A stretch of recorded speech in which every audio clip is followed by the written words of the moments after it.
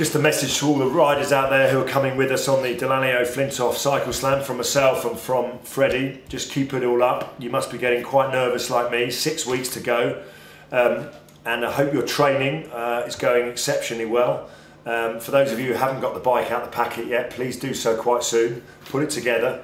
Uh, and for those of you um, who are out in Mallorca on the training camps, um, you know, hope you enjoyed yourselves. For those of us who have got proper jobs back at home and have to work very hard, uh, we've been hitting the pavements and the, and the roads of Richmond Park and doing the weekend rides, but really, really looking forward to, uh, to cycling with you all and having a lot of fun together. So keep the training going.